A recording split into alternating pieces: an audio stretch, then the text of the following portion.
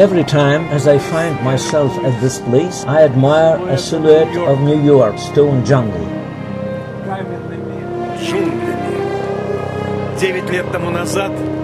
Nine years ago, this silhouette was supplemented with winds. so lovely one named two highest buildings in New York, buildings of the World Trade Center в Нью-Йорке здание Международного торгового центра. Они были вот там. They were just there. Now there is emptiness. There is nothing. These symbols of New York do not exist anymore. Поэтому будут другие символы. Don't worry, there will be other symbols. Yes, you are right. There will be other symbols, Islamic ones. Quite right, you are right, Вы правы absolutely. абсолютно. Лет 12 тому назад About 12 years ago, I have written an article, The Mortal Lava. она называлась There is there it «Смертоносная was лава». discussed a question about the global Islamization threatening the whole world. It was published about 20 my articles. I wrote that the time can come when imams will call Muslims for an evening Mohammedan prayer from the balconies of Empire State Building and transform that building to a mosque. Надо мной смеялись, мне не верили. Но One после вот jeered 11 at me, сентября did not believe me, but after попросили September продолжить 11th, one эту suggested тему. me И to вот совсем continue this недавно theme. в Just интернетовском recently in Russian журнале internet «Мы magazine здесь» We Are Here in two опубликована numbers. My last последняя article, The статья Mortal Lava, has номера, been которая published. называется «Смертоносная лава». Вот тогда еще, в седьмом веке, Then, already in the 7th century AD, the ideological basis of the Arabian terrorism has been put by means of cruelty, violence, to intimidate people, to sow the fear that people refuse their belief, accepted Islam, that they accepted the religion without knowing it without understanding it, without reading the Quran. Secretly, they remained at old belief, but carefully hid it. Otherwise, the gallows and executioner's block, chopping out heads full tilt, a campfire. плаха, рубка голов на скаку, костер. И это речь. Is it really a religion?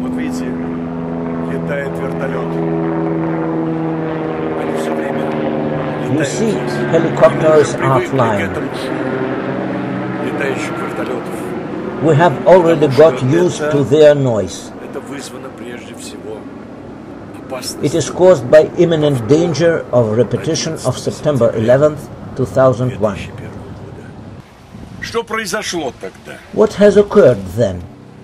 the Wahhabites have blown up the World Trade Center. The Wahhabites, naming themselves as Muslims, appropriated with Muslims, appropriated Muslim doctrine.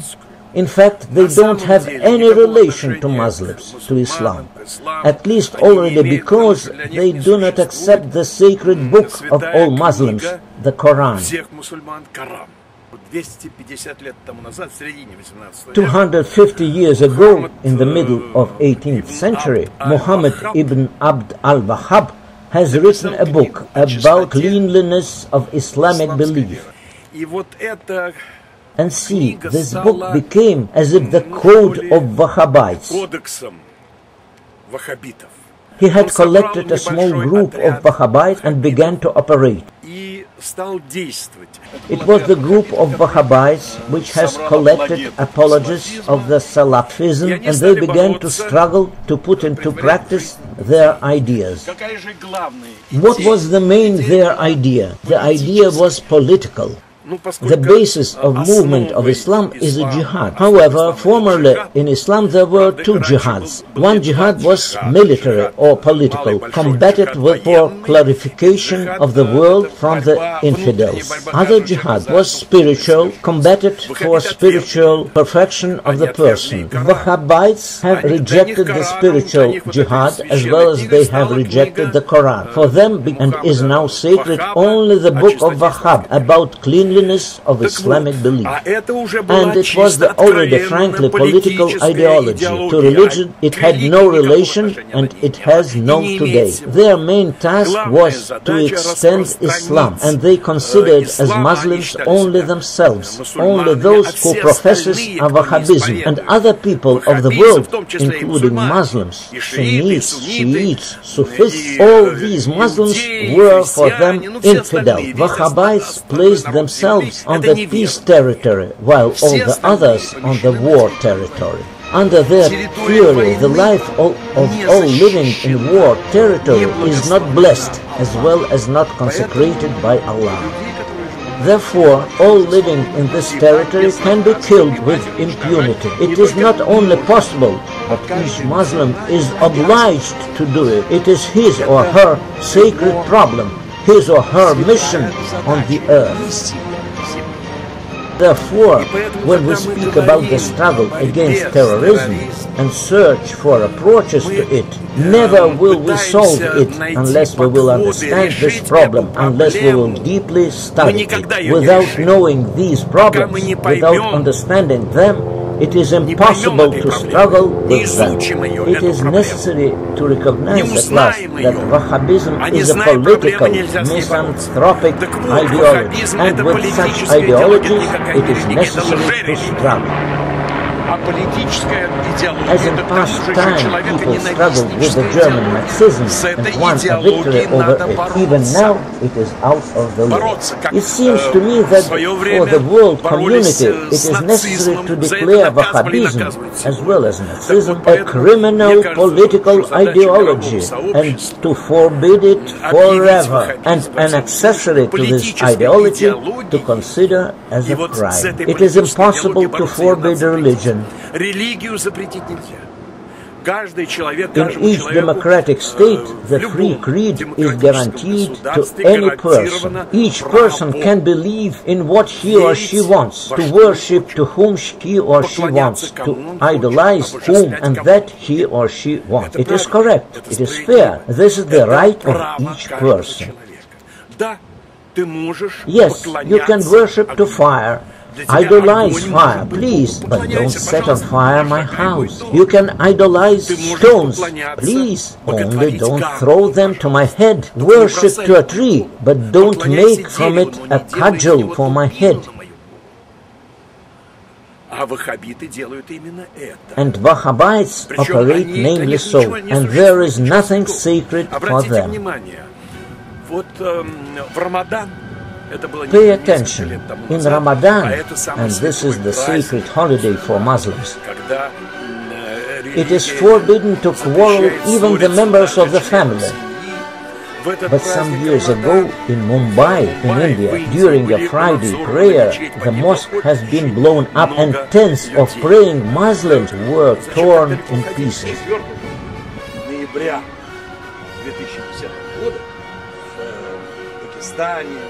More recently, also in Ramadan, apparently on September 9, 2010, in Pakistan and Afghanistan, Wahhabites have blown up mosques and praying Muslims, including children, were perished.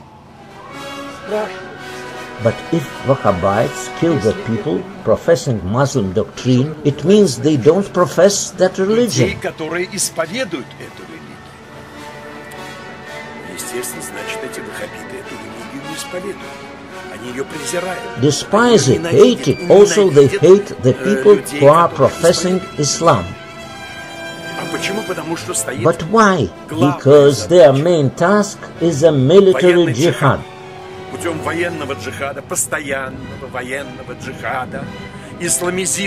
By means of the constant military jihad to Islamize the whole world and to create the world caliphate. And in this caliphate to place only those who is professing Wahhabism and force all other people to work on them, to become slaves. This is a political problem of Wahhabites. But which religion does put political problems before the flock? No, there is not such religion. More than that, in Saudi Arabia, in Mecca, in Medina, Muslim sacred places and relics are destroyed. On a place of holy places, the expensive hotels, huge buildings are constructed.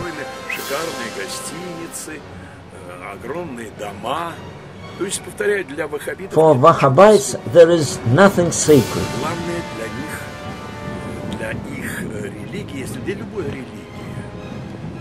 Any religion is given to the people. It is for the people in order that they could be improved, be spiritually equipped. Wahhabites assert that they, having read Muhammad ibn Abd al-Wahhab's book about cleanliness of Islamic belief, are already spiritually equipped. Исламская религия уже духовно оснащены. То есть духовно оснащены, может быть, они духовно оснащены, но это Maybe this their spirituality has a sign minus. If this spiritually leads to murder, to destruction of human life, the life of one's neighbor.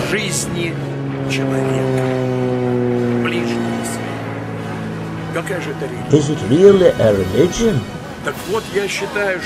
So I consider only when our politicians will understand that they deal not with a religion, but with a pseudo-religion, or more exactly, with a misanthropic military political ideology with which not only it is possible to reach any positive results in the struggle against terrorism, but it is necessary to struggle, only then it will be possible to reach any positive results in the struggle against terrorism.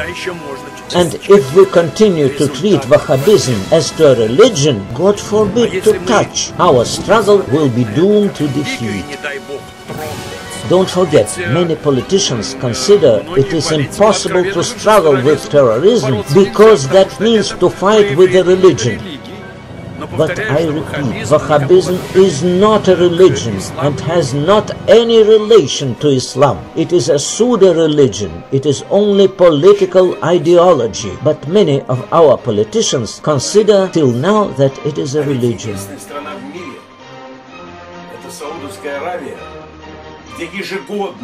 In Saudi Arabia, annually one cuts heads to 50-60 people And recently, in 2010, one had slaughtered with stones a loving couple only because they have got married without having asked the permission to love. Is it really a religion? And it was in Saudi Arabia where Wahhabism is a state religion. But how can exist the state religion? The religion belongs to the people and to God, but not to the state. If it belongs to the state, it means it influences a policy. It means it is already a political institution, as it was required to prove